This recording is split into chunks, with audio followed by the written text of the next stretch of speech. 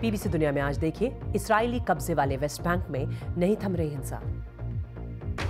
Gaza में जारी जंग के बीच इसराइली कब्जे वाले वेस्ट बैंक में भी जारी हिंसा का सिलसिला। दिखाएँगे इसराइली सैनिकों की गोली से मारे गए एक फलस्तीनी लड़के की कहानी। स्वागत है आपका बीबीसी दुनिया में। मैं हूँ सारिका सिंह। इसराइल और हमास जंग में मारे जा रहे बच्चों की बात कवर स्टोरी में, लेकिन पहले हेडलाइंस राष्ट्रपति व्लादिमीर पुतिन ने कहा, रूस फिनलैंड और स्वीडन से लगती सीमा पर तैनात करेगा सैनिक और हथियार। यूक्रेन पर रूसी हमले के बाद फिनलैंड और स्वीडन बन चुके हैं नेटो के सदस्य। यूरोपियन पार्लियामेंट ने आर्टिफिशियल इंटेलिजेंस के इस्तेमाल को लेकर एक अहम कानून को दी मंजूरी। यूरोपियन पार्लियामेंट के अध्यक्ष रॉबर्टा मेट्सोला ने कहा, नए नियमों से टेक इनोवेशन और लोगों के बुनियादी अधिकारों में कायम होगा संतुलन। बीजेपी ने लोकसभा चुनाव के लिए जारी की उम्मीदवारों की दूसरी लिस्ट। बहत्तर नामों में केंद्रीय मंत्री नितिन गडकरी, अनुराग ठाकुर भी शामिल। दोनों अपनी पारंपरिक सीटों से लड़ेंगे चुनाव। हरियाणा के पूर्व सीएम मनोहर लाल खट्टर, करनाल से और पंकजा मुंडे को बीड से चुनाव का टिकट। इनमें से कुछ अहम खबरों की चर्चा आज। बीबीसी दुनिया में।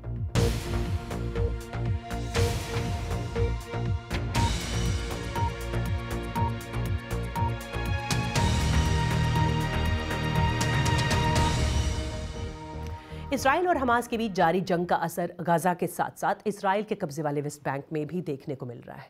यहाँ भी ऐसे लोगों की जान जा रही है जिनका जंग से दूर दूर तक कोई वास्ता ही नहीं है। मरने वालों में बच्चे भी शामिल हैं। आज कवर स्टोरी में ऐसे ही एक फलस्तीनी मासूम की कहानी।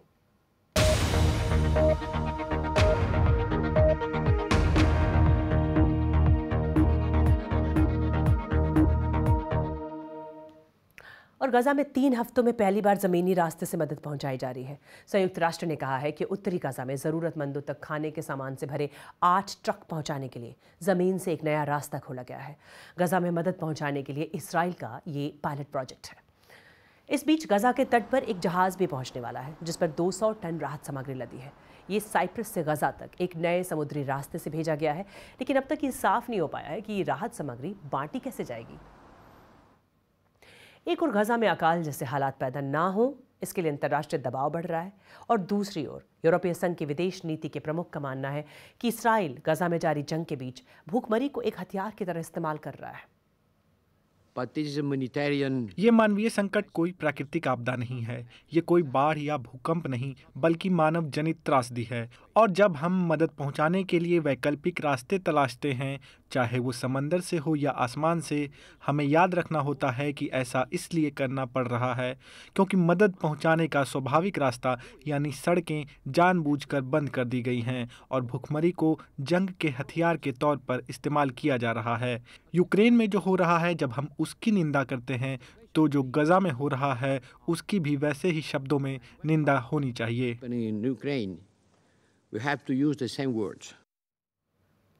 और इसराइल ने गजा में दाखिल होने वाली मदद पर कड़ी पाबंदियाँ लगाई हैं।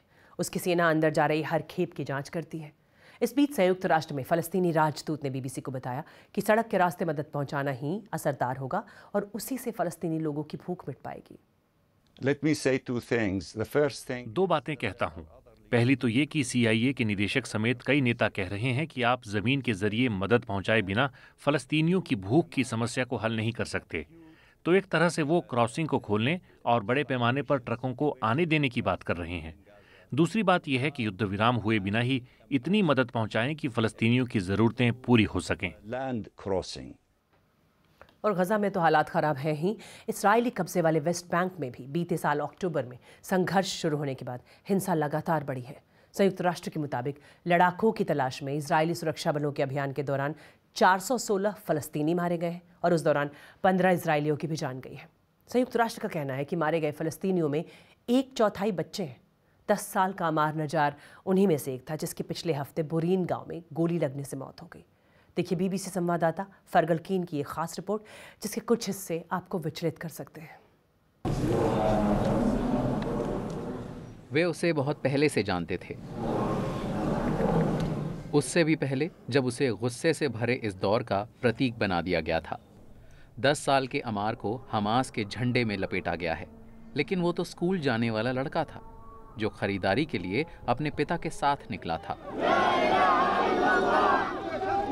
इसराइली सैनिकों के हाथों उसकी मौत हुई है। इसलिए हमास का ये धड़ा उसे शहीद मान रहा है। हमास का मार्क्सवादी लेनिनवादी धड़ा पीएलओ उसे अपने झंडे में लपेटकर सुपुर्दे खाक करने ले जा रहा है।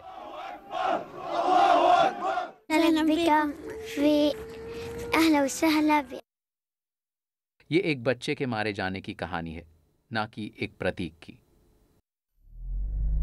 चार मार्च को अमार अपने पिता और छोटे भाई के साथ बुरिन से गुजर रहा था। तभी इसराइली सैनिकों के एक दस्ते से उनका सामना हुआ। उन्हें कोने में इस दुकान के पास रोका गया।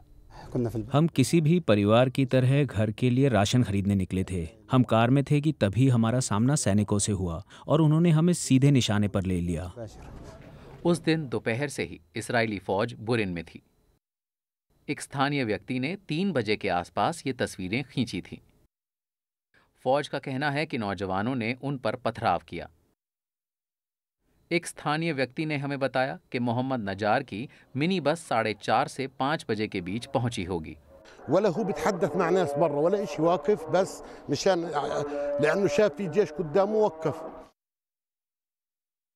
फिर उन्होंने सीधे गोली चलाई जो विंडस्क्रीन चीर कर अंदर गई जहाँ अमार उसके पिता और छोटा भाई बैठे थे। उन्होंने हम पर सीधे गोली चलाई जिससे आमिर की फ़ौरन मौत हो गई। वो जख्मी नहीं हुआ उसने उसी पल दम तोड़ दिया क्योंकि उसे सिर में गोली मारी गई थी।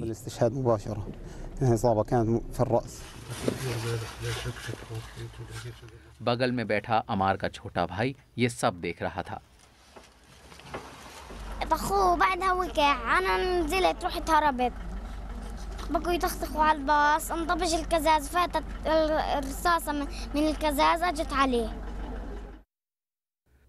बीते साल 7 अक्टूबर के बाद से ही वेस्ट बैंक में हिंसा बढ़ी है इसराइली सुरक्षा बलों और सेटलर्स के हाथों 400 से अधिक फलस्तीनी मारे गए हैं संयुक्त राष्ट्र के मुताबिक उनमें से एक चौथाई लोगों की उम्र 10 से 17 साल के बीच थी फलस्तीनियों के हाथों भी 15 इसराइली मारे गए। बुरिन लंबे समय से संघर्ष के केंद्र में रहा है। यहूदी सेटलर्स ने इसका फ़ायदा उठाया, जो गाँवों पर हमले करके संपत्ति को तबाह करते रहे और उसके वीडियो बनाते रहे। बुरिन में रहने वालों का कहना है कि फौज सेटलर्स का पक्ष लेती है और उन्हें बचाने में नाकाम रही है। नजार की माँ इसे खुली आँखों से देखा हुआ बुरा सपना बताती हैं।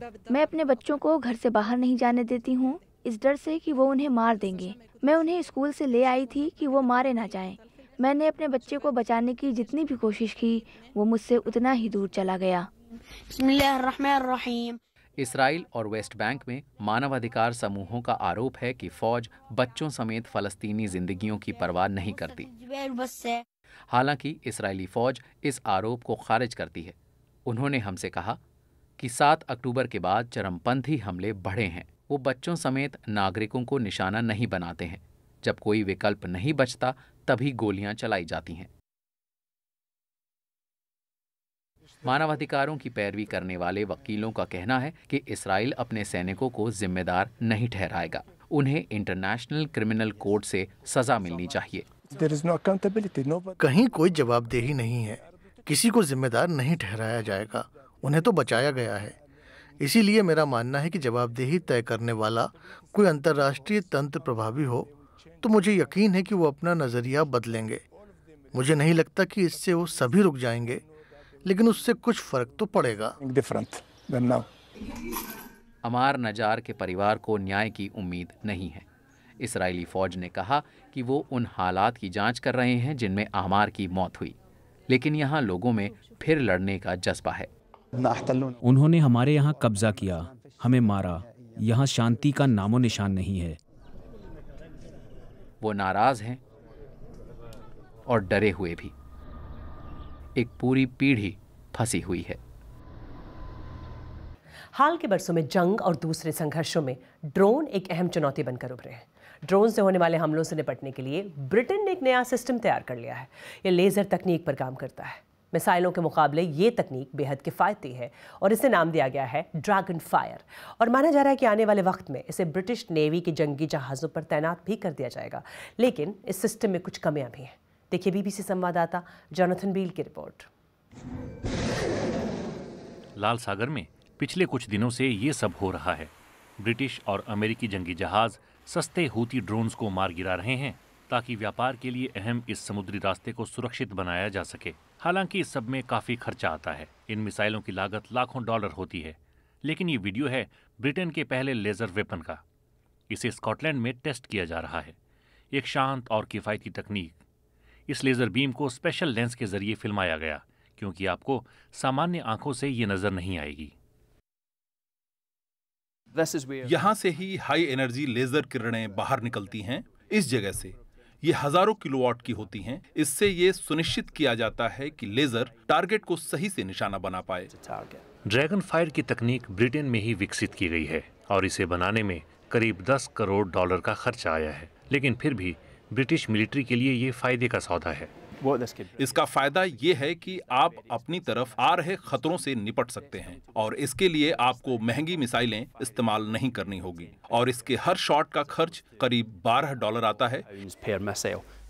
और लेजर से ये होता है प्रोजेक्टाइल की जगह एनर्जी का इस्तेमाल। यहाँ हमारे पास कुछ स्टील प्लेट्स हैं जिनकी मोटाई अलग अलग है और उन्हें हम ब्लास्ट कर रहे हैं। इसके ज़रिए न केवल स्थिर टारगेट्स को निशाना बनाया बल्कि उड़ान भर रहे ड्रोन्स को भी मार गिराया गया। ये एक सिक्के जितने छोटे ऑब्जेक्ट्स को एक किलोमीटर दूर से निशाना बना सकता है। सबसे अहम चीज़ है कि कई लोग लेजर की पावर की बात करते हैं लेकिन इस तरह की चीज़ों को निशाना बनाने के लिए बहुत ज़्यादा पावर की ज़रूरत नहीं होती। इसमें बस लेजर बीम का निशाना सही होना चाहिए। फ़िलहाल इस तकनीक को किसी जंगी जहाज़ में नहीं लगाया गया है। इस तकनीक पर अभी काम चल रहा है और इसे इस्तेमाल में आने में कई साल लग सकते हैं। लेकिन दूसरे पारंपरिक हथियारों के मुकाबले लेज़र पावर ज़रूरत के हिसाब से बढ़ाई या घटाई जा सकती है चाहे टारगेट को नष्ट करना हो या फिर उसे बाधित करना। लेकिन इसकी अपनी सीमाएँ भी हैं। इसे आप तभी इस्तेमाल कर पाएँगे जब आपका टारगेट नज़दीक हो क्योंकि जिसे आप निशाना बनाना चाहते हैं उस ऑब्जेक्ट का दिखना ज़रूरी है। हालाँकि इसका फ़ायदा ये है कि आप इसे लगातार इस्तेमाल कर सकते हैं। और आपको इसके लिए कोई स्टॉक करके नहीं रखना होगा। इस तरह के हथियार भविष्य की जंग में अहम हो सकते हैं। स्टार वॉर्स फ़िल्म की तरह नहीं लेकिन एक तरह से विज्ञान की कल्पना हकीकत में बदलती दिख रही है। और अब बात अमेरिका की, जहाँ मौजूदा राष्ट्रपति जो बाइडेन और पूर्व राष्ट्रपति डोनाल्ड ट्रंप ने अपनी अपनी पार्टियों की तरफ़ से राष्ट्रपति पद के लिए उम्मीदवारी पक्की कर ली है। अमेरिका में सत्तर साल बाद ऐसा हो रहा है जब दो दावेदार राष्ट्रपति चुनाव में लगातार दूसरी बार एक दूसरे के आमने सामने हैं। प्राइमरी चुनाव में डेमोक्रेट डेलीगेट्स का पर्याप्त समर्थन हासिल करने के बाद अमेरिकी राष्ट्रपति जो बाइडेन ने वोटर्स का शुक्रिया अदा किया। हालाँकि उनका डेमोक्रेटिक पार्टी का उम्मीदवार बनना पहले से तय माना जा रहा था। दूसरी ओर डोनाल्ड ट्रंप भी कई राज्यों के प्राइमरी चुनाव में बढ़त मिलने के बाद अपनी पार्टी से उम्मीदवारी हासिल कर चुके हैं। पिछले हफ़्ते उनकी प्रतिद्वंदी निकी हेली कई राज्यों में पिछड़ने के बाद रिपब्लिकन पार्टी की उम्मीदवार बनने के रेस से हट गई थी। और इस साल नवंबर में होने जा रहे चुनाव में मुकाबला काफ़ी हद तक साल 2020 जैसा ही रहने की उम्मीद है। और इसी वजह से शायद अमेरिका के लोगों में चुनाव को लेकर ज़्यादा उत्साह नहीं देखा जा रहा है। अमेरिकी राजनीतिक मामलों की जानकार लॉरी लॉयर्ड का बाइडन ट्रंप के बीच मुकाबले को लेकर ये कहना है। दोनों उम्मीदवारों के लिए ये कैंपेन अलग रहेगा। ट्रंप वैसे तो बाइडन से केवल साढ़े तीन साल छोटे हैं, लेकिन वो बाइडन से ज़्यादा सक्रिय दिखते हैं। जनता ट्रंप को ज़्यादा फिट मानती है, जबकि दोनों की उम्र में ज़्यादा अंतर नहीं है। लेकिन ये देखना दिलचस्प होगा कि बाइडन इस कठिन चुनावी कैंपेन में किस तरह शामिल होते हैं। बर्ड फ्लू अब सुदूर ध्रुवीय इलाकों में भी रहने वाले पेंगुइन्स को चपेट में ले रहा है। कई सी बर्ड्स और जानवरों तक को ये फ्लू हो रहा है और अब इसका असर सब अंटार्कटिक इलाके में भी दिखने लगा है। अब तो गेंटू और किंग पेंगुइन्स तक इनकी चपेट में आने लगे हैं। इन्हें लेकर क्यों फ़िक्र बढ़ रही है? देखिए BBC science editor Rebecca Morelle की रिपोर्ट ये बड़ी दूर से आए हैं। दक्षिणी जॉर्जिया के इस द्वीप पर वो अपना घर बनाने और अपने बच्चों को पालने के लिए आए हैं। गेंटू पेंगुइन्स यहाँ वाइल्ड लाइफ का अहम हिस्सा हैं, लेकिन अब यहाँ बर्ड फ्लू फैल रहा है। और पाँच गेंटू पेंगुइन्स फ्लू पॉजिटिव पाए गए हैं। किंग पेंगुइन्स की एक कॉलोनी में भी पाँच और पेंगुइन्स भी पॉजिटिव पाए गए हैं। अंटार्कटिक के इस हिस्से में पहली बार पेंगुइन्स में ये जानलेवा वायरस मिला है। दक्षिणी जॉर्जिया के इस खूबसूरत द्वीप पर कई तरह के जीव जंतु पाए जाते हैं जो दुनिया के लिए बेहद अहम हैं। ऐसे में अगर यहाँ पर बर्ड फ्लू से मौतें होती हैं तो ये फ़िक्र बढ़ाने वाली बात होगी। वैज्ञानिकों का मानना है कि पेट्रोल और सक्यूवर्स पक्षियों की वजह से दक्षिणी अमेरिका से ये बर्ड फ्लू यहाँ तक पहुँचा और यहाँ से ये पक्षी अंटार्कटिका की ओर जाते हैं और फिर वायरस को लेकर इस सफ़ेद जंगल में एम्प्रर पेंगुइन को संक्रमित कर सकते हैं, जो पहले से ही बदलते पर्यावरण की मार झेल रहे हैं और कम होती बर्फ़ का नुकसान भी। हालाँकि अभी भी साफ़ नहीं है कि ये वायरस यहाँ कैसे फैला। पेंगुइन्स एक कॉलोनी बनाकर एक दूसरे के आसपास ही रहते हैं। इसीलिए मुमकिन है वायरस भी एक से दूसरे में फैल जाए। इसीलिए मुमकिन है वायरस भी एक से दूसरे में फैल जाए। हालाँकि हमें ये नहीं पता कि अलग अलग पेंगुइन की प्रजातियों में ये वायरस क्या आसानी से फैल सकता है। बर्ड फ्लू की वजह से दुनिया भर में परिंदों पर असर पड़ा है। यूके में भी हज़ारों पक्षी इसकी चपेट में आए हैं। ये स्तनधारी पशुओं में भी फैल रहा है। अब सवाल ये भी है कि क्या ये दक्षिणी ध्रुव के इलाके में भी फैलेगा? फ़िलहाल तो इनका असर पेंगुइन्स की कॉलोनियों पर ही दिख रहा है, जिस पर वैज्ञानिकों की नज़र है। और थाईलैंड में मनाया जा रहा है नेशनल एलिफेंट डे। यहाँ के प्राचीन शहर अयोध्या में लगभग सत्तर हाथियों को भोज में खिलाए गए फल और सब्ज़ियाँ। थाईलैंड में लोगों के लिए हाथियों का बड़ा महत्व है। यहाँ की सेंचुरीज में लगभग तीन हज़ार आठ सौ हाथी हैं। साल उन्नीस से वहाँ नेशनल एलिफेंट डे मनाने की शुरुआत हुई थी। और अमेरिका में इस तरह हुआ, घोड़े का रेस्क्यू। कैलिफ़ोर्निया में 10 साल का यह घोड़ा गड्ढे में गिरा, इसे बचाया गया। और आप मुझे ट्वीट कर सकते हैं एट बीबीसी सारिका पर। बीबीसी दुनिया में फ़िलहाल इतना है।